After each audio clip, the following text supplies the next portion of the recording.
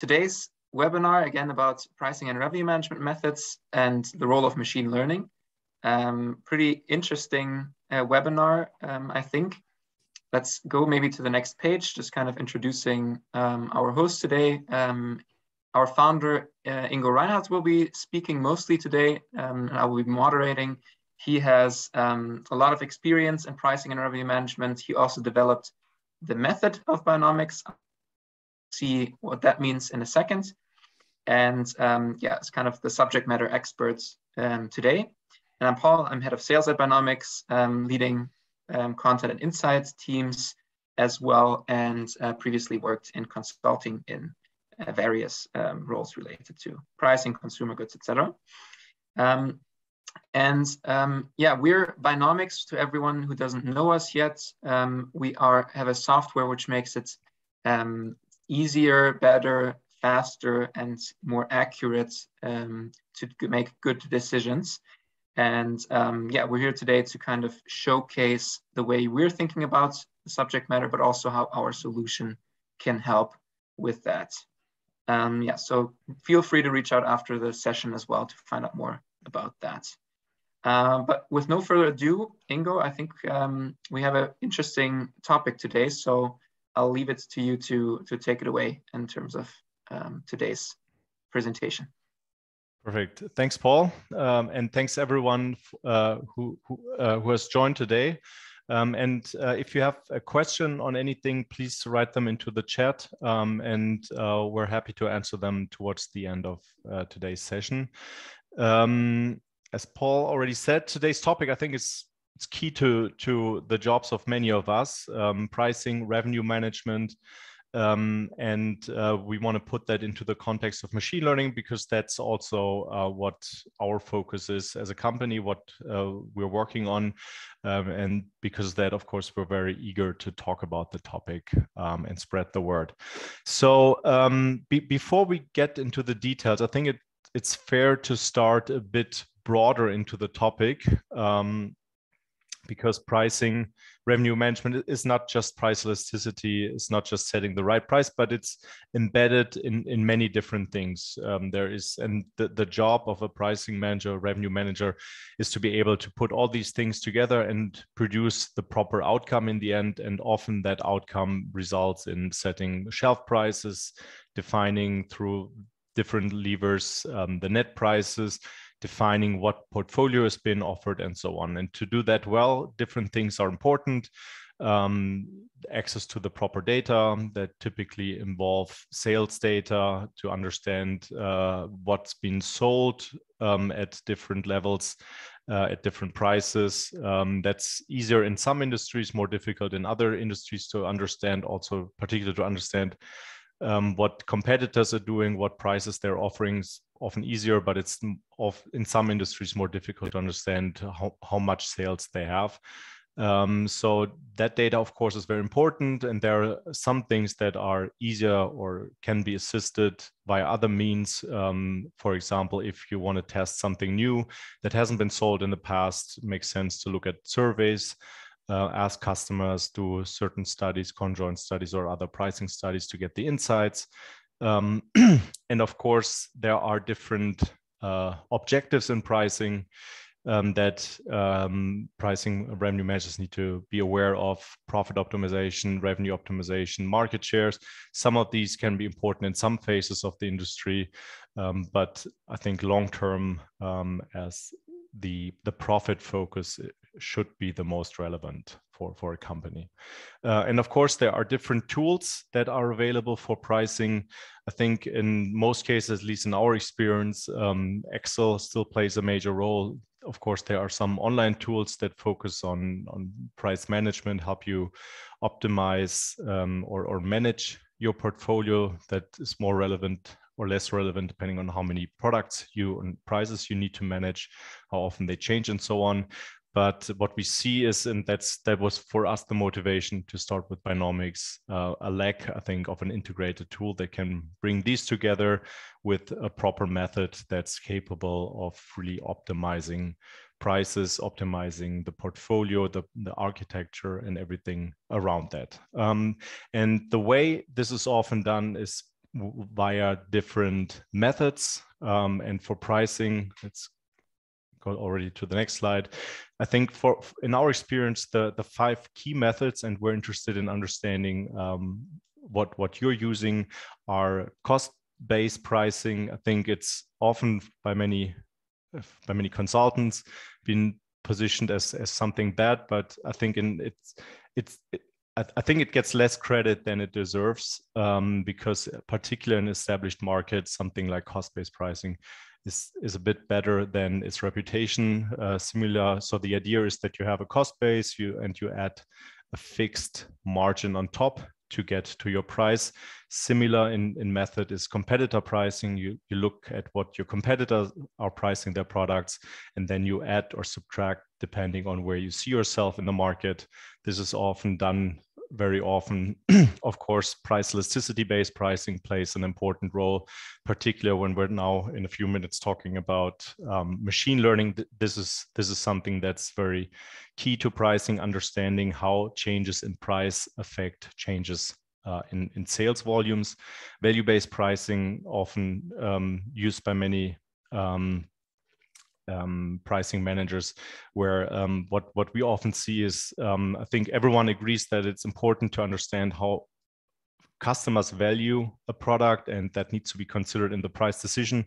Um, actually, doing that in practice has a has a number of challenges, uh, and some of them we will address here, uh, particular because there's not the one customer, but every customer has a different uh, attaches a different value to a product. So um, this makes it a bit more difficult because there's not this this one value that the customer attaches to a product, but there's a full distribution of different values. Uh, and of course, uh, particularly in in later time, behavioral pricing is becoming very important um, as an addition to the other methods. And the key idea is to acknowledge that people are not fully rational in their decision and they can be steered towards certain decisions by, um, by so, sort of exploiting um, the heuristics that people use. So, for example, um, pricing something at 9.99 instead of 10 euros um, because 9.99 looks a lot cheaper than 10 euros to most people.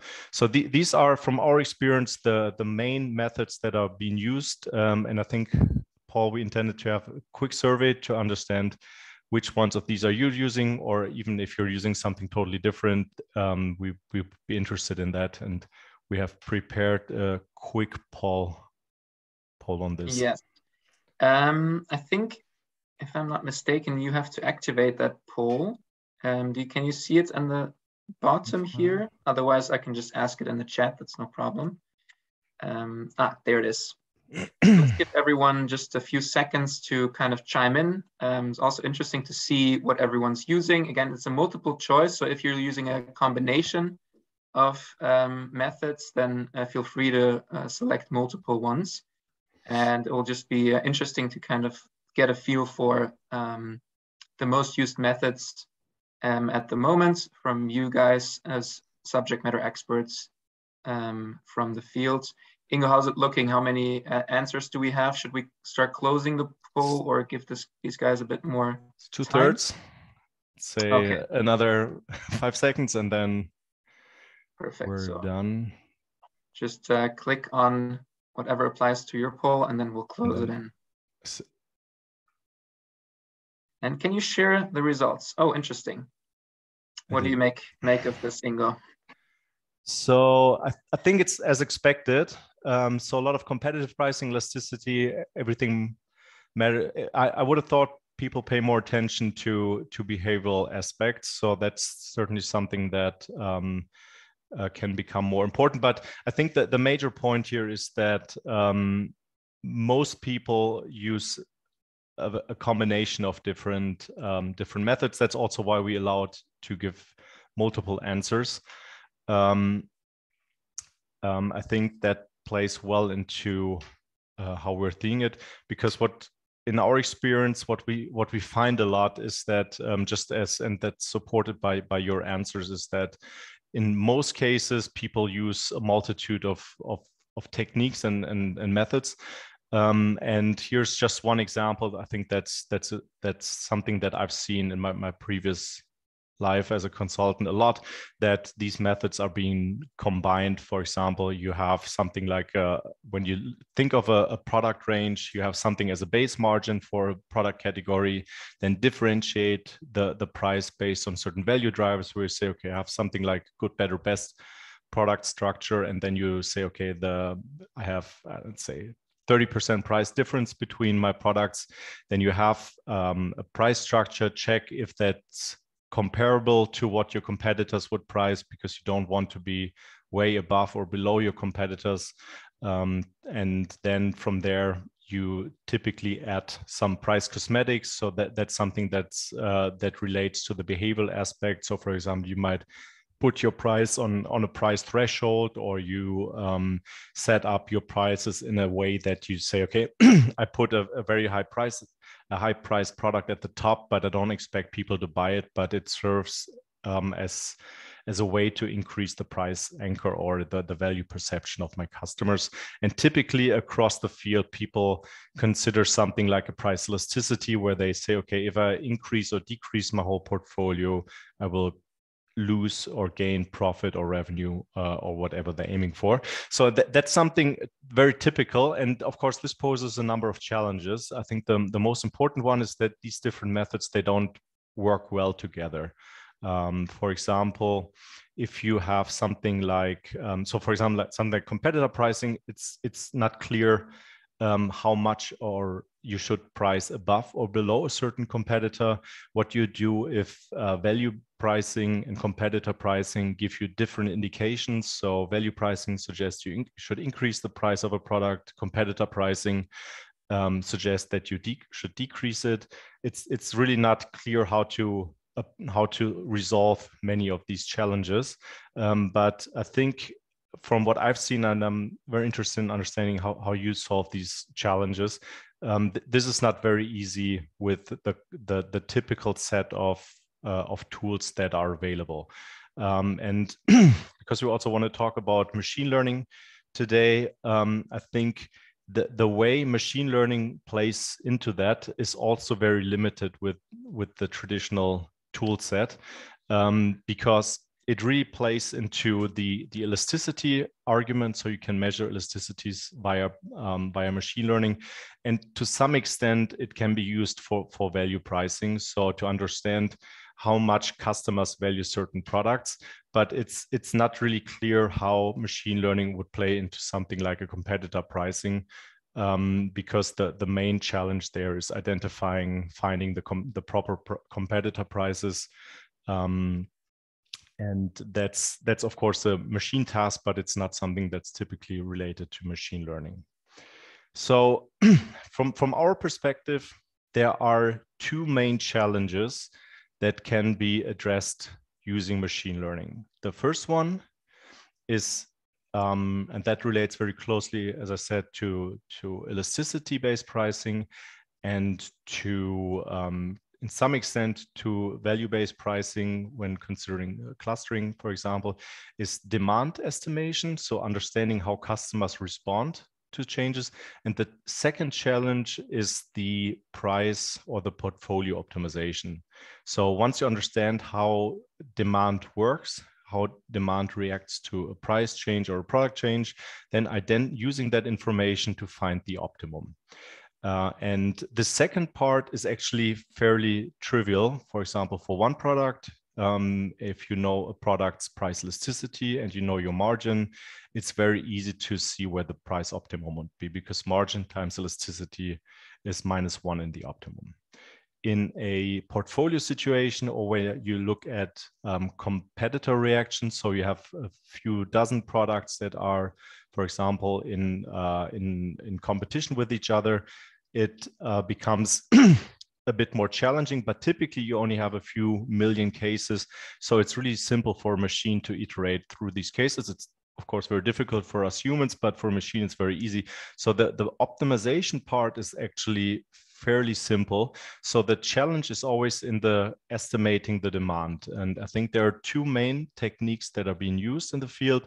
One is, is clustering. So understanding what products have are similar, for example, in sensitivity, or what products are similar in, in uh, how their value is perceived by customers. So that's the one challenge, clustering.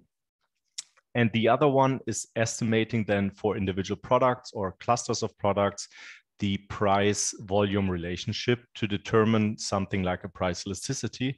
And in our experience, this is most of the time, time done via some regression analysis, um, classical regression analysis, or a uh, machine learning variation of it. So these are the parts where um, where we see that uh, machine learning is being used, but we find that there are some challenges that come with this approach. And I think um, the, the main challenge is in how they the results are used, particularly how something like a price elasticity is being used, because we very often see um, when we come in that um, customers of us use price elasticities and they from a provider or some other source get lists of price elasticities and they say okay this product has a price elasticity of minus two this one has a price elasticity of minus 2.3 and so on. But the problem with it with it is that the price elasticity is almost never constant. So for example if you change the price of your product um, for example, increase it by my, by 10%, as in this example, then the price elasticity increases from minus two to minus 2.7. So already a major shift, uh, in particular in an environment where with inflation, a 10% price increase is is something that, that's quite normal. Um, so um, it doesn't really make sense to to have this, or it's, it's not very useful to have this this one number, the minus two uh, because it changes if you change a price, but it also changes a lot when a competitor changes something. For example, a competitor introduces a new product, then the price elasticity of your products uh, can be affected. Um, or if anything happens in the market, price elasticities change a lot, and having a list of price elasticity is, is, is not not very useful as an input for for good price decisions. Um, or we're already talking about prices, there, there are more challenges than this.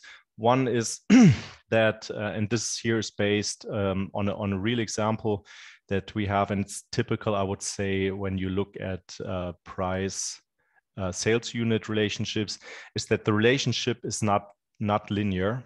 Um, and in this case, it's also not exponential, which is the, the other type of demand function that's that's very common in the field. So um, you you you not only need to know the price elasticity, but you also need to know what the essentially what the demand curve looks like. So is it linear? Is it exponential? Or is it as shaped as in this case here? So th these are important things. And um, I think because we're already in an environment with increasing inflation, they let's look at an inflation uh, example to highlight why this is important. And I think when you a, a, a, typical question is is that you have a product. Let's say here in this case, the product has costs of of 100. It's currently priced at 200. So at a price elasticity, that's the profit. That's the profit optimal price. And now what happens is that your costs increase.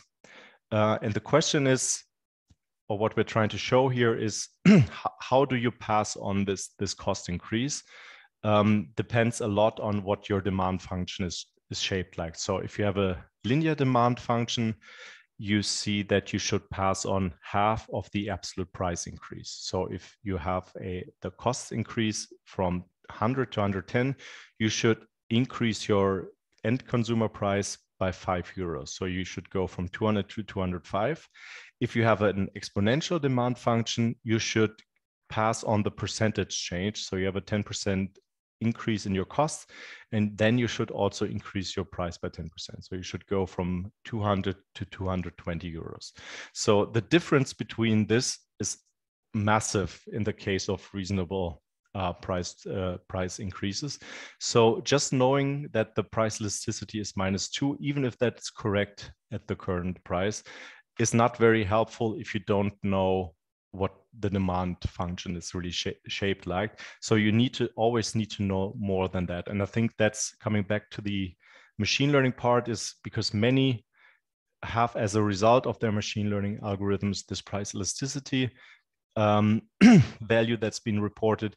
Th that's that's a lot of effort to produce a number that's in the end not very helpful. Uh, and that for us was one of the motivations to approach the topic in a different way and use the, the power of machine learning and, uh, and other current methods in, in, a more flexible way to produce significantly better better outcomes. And the idea, uh, just very briefly, uh, we have a lot of material on, on the methods that that uh, that we have developed. Is that uh, we have developed something like a virtual shopper so it's really it's not one shopper, but it's thousands or millions of virtual shoppers, and they have different preferences. They can be rational, they can be irrational, just like real people, and they have different preferences for different products, for brands, for example, and uh, certain distributions and these distributions how these preferences of these virtual shoppers are distributed we estimate using the available data, for example, sales data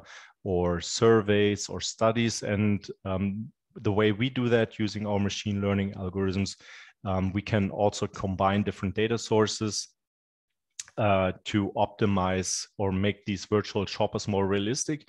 And then what, what can be done with these, once you have the preferences of each of these virtual shoppers, you can show them your offer or also the products of your competitors at different price, at, at, at a current price or different prices.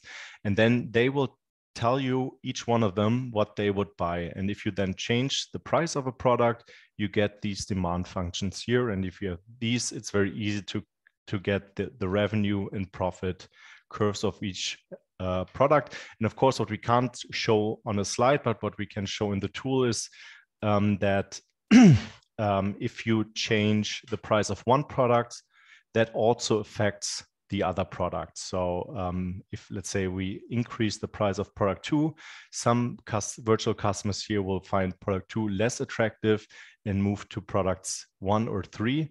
And that also helps us understand the interaction between different products. So that's a method that's very natural. And um, because we talked about the demand function previously, uh, with this, the, the outcome, so you have here in the graph different demand functions, it's something that's produced by the model and doesn't have to be assumed beforehand. And the, the way these demand functions look depends on the data that was used to generate the virtual shoppers.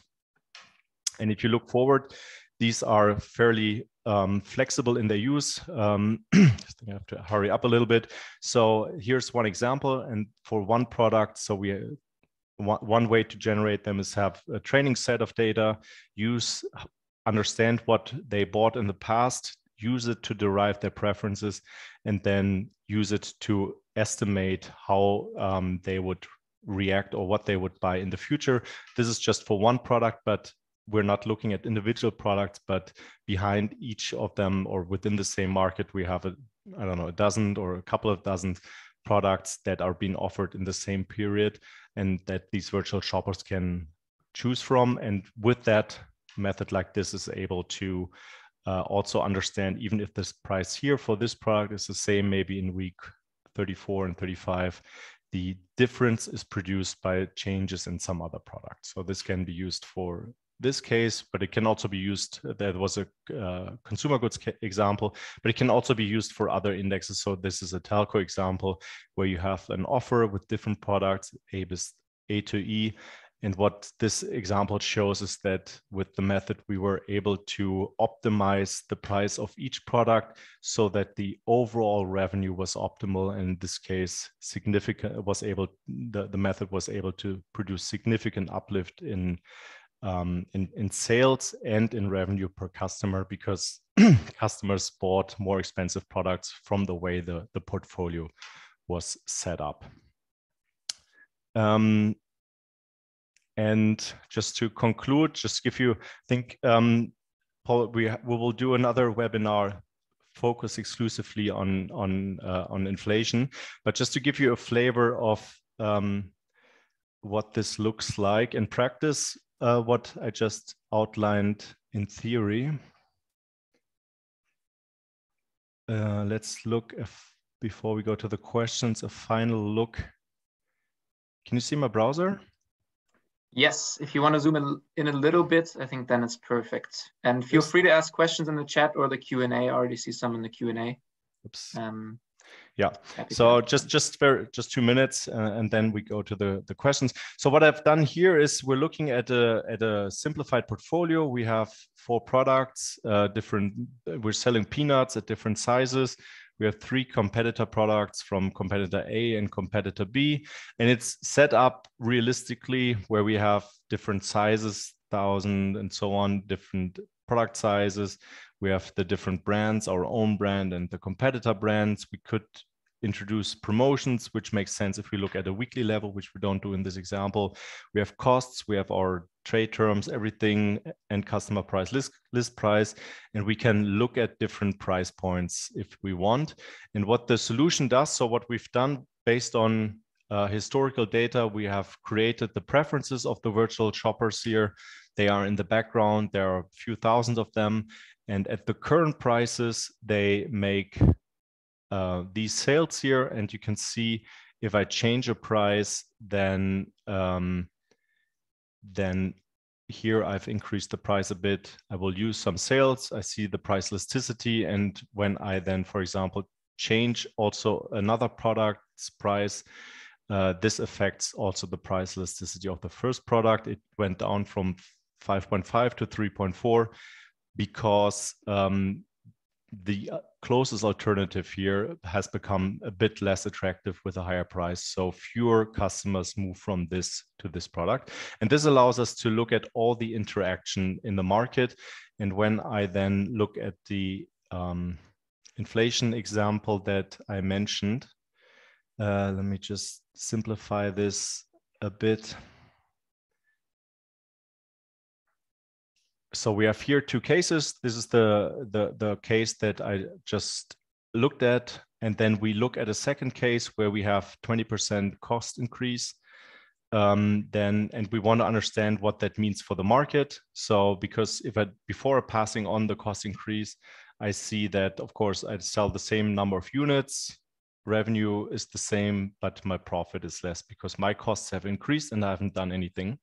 Um, and I would be interested now in understanding what happens if I also increase my price here in this example by 20%, then I see that my profit nominally actually increases a bit. Um, but money is worth a little less because we have high inflation in this case. But I see that increasing my my prices makes sense um, compared to the case where I don't increase my prices.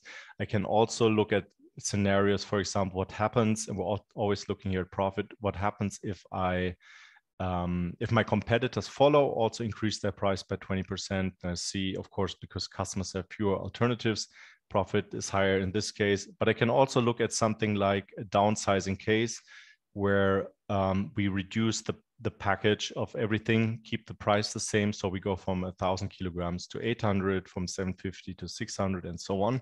So reduce the package by 20, by about 20% in each case. And we see, okay, in this case, this option is less attractive. And we can of course also look at a very high number of uh, combinations of the two methods. So this is just a, a short teaser, I would say, um, to highlight how um, we in our solution use machine learning here to create these virtual shoppers. And I said the difficult part is understanding how price and sales depend on each other. The easier part is, and that's what's been done here in the solution, is then using that to optimize your offers so because that's actually in our case just counting these virtual shoppers to measure how much they would buy given each each case. And then you can it's very simple to go through these different cases and understand um, what would happen. And it allows you to make very quick um, we just did it in a few minutes and very informed and precise decision on how to react to something like a, a cost increase of your products um, and have something right at your hand for making better decisions, particularly in a situation like now where where a lot of is going on in terms of pricing, cost change, and everything. and uh, I think it helps a lot to have a tool that's that's fast and gives quick answers. so Great. I think we we we we spent one or two more minutes than we intended. Uh, but let's go to That's the. Good. I still see a lot of people here. Um, someone's already asking, where can I get a replay of this webinar? You get it by email. Um, so watch watch your inbox. Um, we'll send it out usually on Mondays, Tuesdays after the webinar, just because we have to do some editing, uploading, and that kind of stuff. So check your email um, for that. Ingo, do you want to go to the next slide? Um, regarding questions, um, there were some in the Q&A. Um, one was, so you mentioned in the beginning all these different um, different pricing methods and uh, also alluded a little bit of when when to use what. Um, but can you clarify, someone's asking, um, are there certain methods that are more or less useful in in certain circumstances? So out of the the standard methods i think they're they're saying. Um, and you you spoke a little bit about um, the cost uh, based rep. Maybe you can you can clarify a little bit yeah.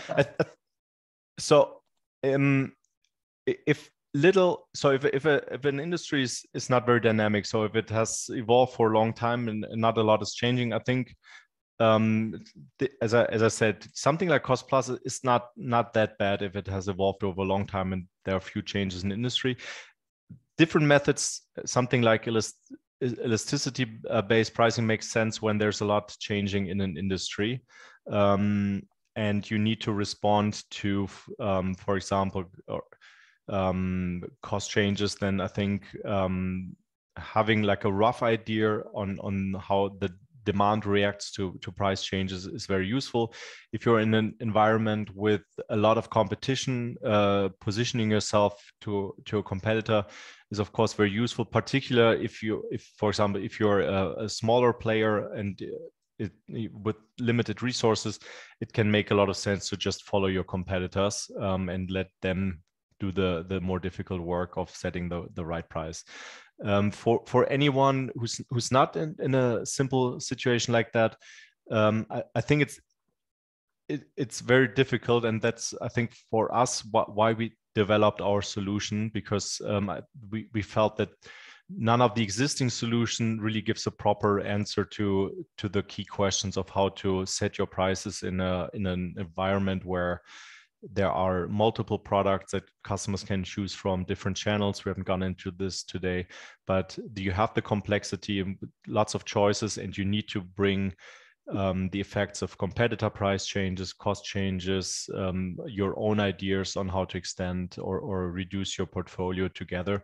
And i think uh, also on my past experience everything else is is is much less capable than than the solution we built that very naturally i hope i could highlight that uh, bring together all of these different ideas into one coherent method that's that's really easy to and fast to use. Um, i don't think there is anything that i've seen else that properly brings together all of these concepts um, I think I always find it funny. I at one, I think it was even a, a, software company that also had price recommendations based on price elasticities, value pricing, behavioral, and so on, machine learning, uh, something.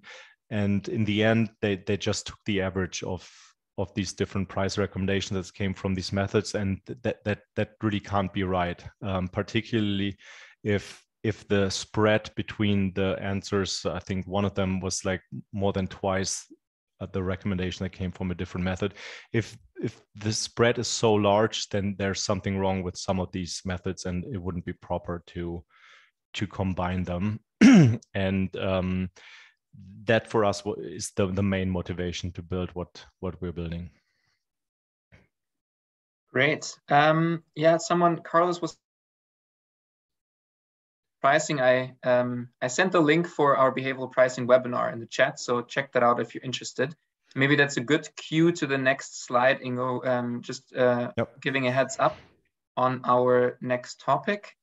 Um, so I think a lot of people were asking about pricing amid high inflation. Can you tell our viewers today a little bit of what to expect in that webinar? and uh, you'll get the invites by email as well.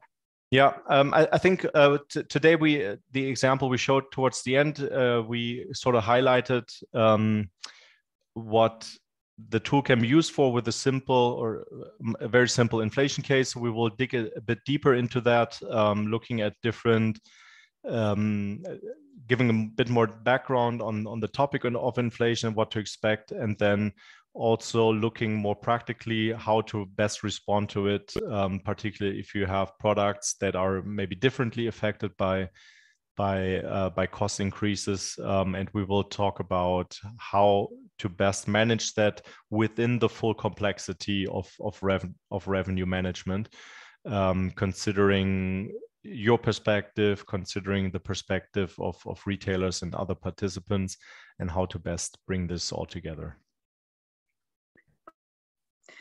Uh, very good ending, I think, here. Um, thanks, Ingo. If there are no more questions, um, I think that I'll, I'll, see you at the next webinar on inflation end of April.